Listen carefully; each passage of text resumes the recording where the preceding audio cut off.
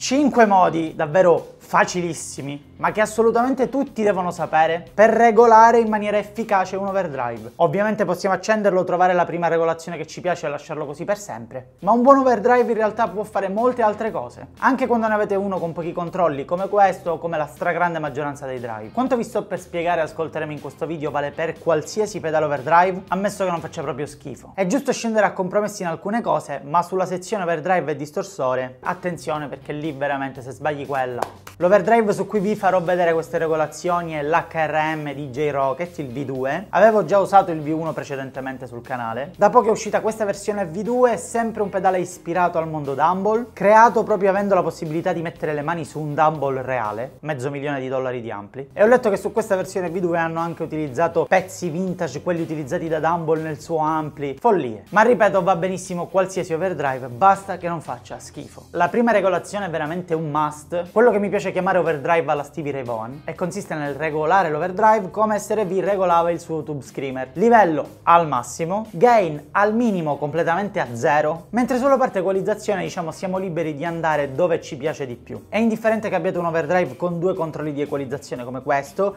che ha medio basse e medio alte, oppure il classico unico controllo di tono, diciamo che più o meno farete la stessa cosa. Il risultato è un suono molto dinamico all'apparenza quasi, quasi clean, quanto di più simile ci sia al vero vero break up di un ampli, ovvero quel momento quando il volume è così alto dell'amplificatore che suonato con forza il suono si sporca mentre suonato piano il suono resta completamente clean.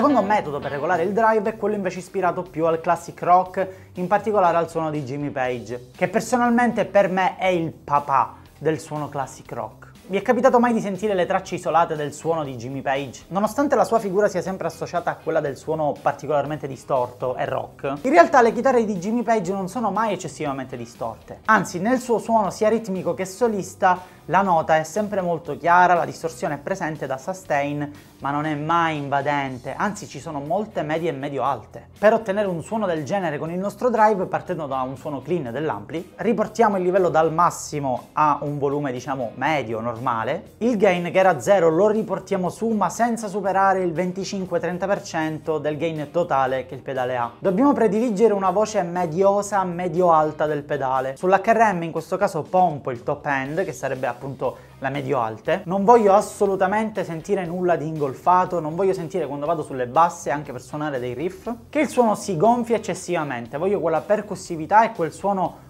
quasi clean, ma che in realtà è forte, cazzuto, distorto.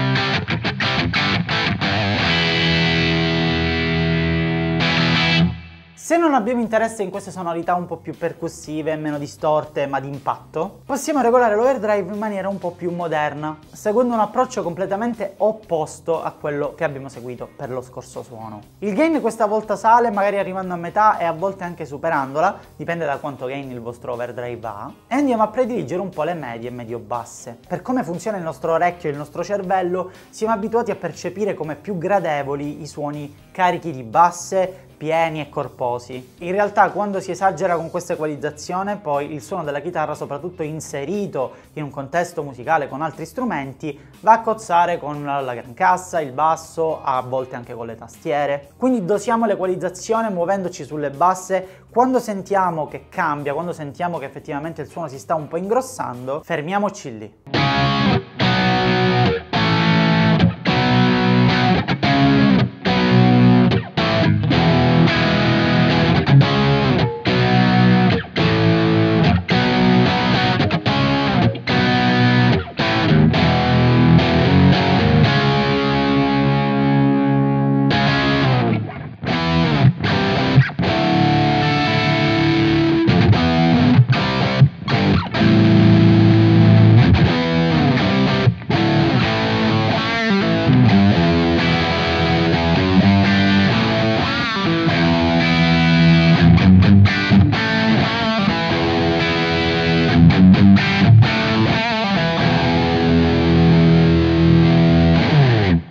Po' di quello che c'era nel suono classic rock e nel suono rock un po' più moderno, creiamo una delle regolazioni che più mi piace utilizzare per tutta la parte lead, per tutta la parte degli assoli. Per quanto la regolazione precedente era già in grado di fornirci un buon suono lead, diciamo già utilizzabile, è possibile anche fare di meglio se vogliamo utilizzare un pedale proprio in maniera specifica per un assolo, comunque per parti soliste. In questo caso il level va spinto un po' più in avanti. Il passaggio da clean a overdrive ci fa perdere effettivamente all'interno del mix una parte di volume importante.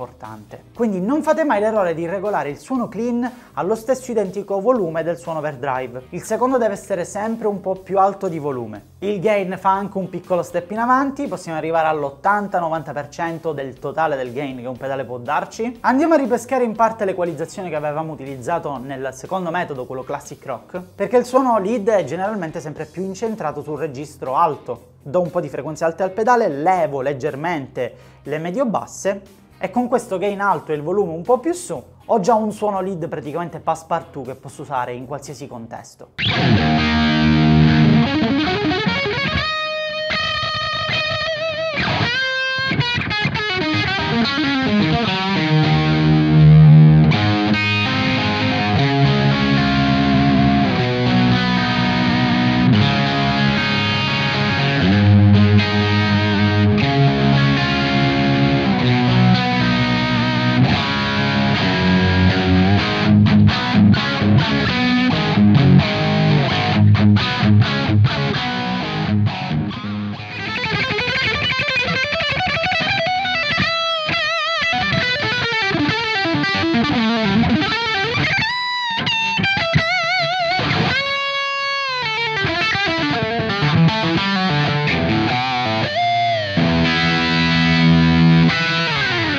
Andiamo all'ultimo metodo che probabilmente in realtà è anche il più importante tra tutti, ovvero quello di utilizzare il nostro overdrive all'interno di una catena con almeno un altro overdrive per creare un gain stage. Esistono pedali più complessi con più circuiti all'interno dove è possibile creare il gain staging all'interno dello stesso pedale, quello che comunemente conosciamo come dual overdrive. Ma in generale la cosa più comune da fare se non si dispone di un dual overdrive è quello di avere due overdrive separati che lavorano insieme. Non ci sono regole precise e obbligatorie da seguire, ma delle cose importanti da conoscere. La prima è che a seconda dell'ordine con cui deciderete di piazzare i pedali, prima uno o prima l'altro, il vostro suono finale sarà condizionato di più dal pedale che si trova più lontano dalla chitarra in catena. Se entro in questo primo overdrive con la chitarra, ma esco poi da questo, il mio suono sarà un'unione tra i due ma somiglierà di più a questo di qua. Se invece li scambio ovviamente la voce del nostro suono sarà più influenzata da quest'altro pedale. È inoltre buona norma regolarli in maniera che il gain sia crescente, impostando il pedale con più gain successivamente a quello con meno gain, o comunque se i due pedali hanno gain sovrapponibili, quindi magari hanno strutture di gain simili, nessuno dei due arriva a gain stellari, è bene regolare il pedale pedale che sta prima sempre con il gain sensibilmente più basso rispetto al secondo. E in questo modo abbiamo aggiunto tre stadi di gain al nostro suono, il più basso, il medio e l'unione dei due.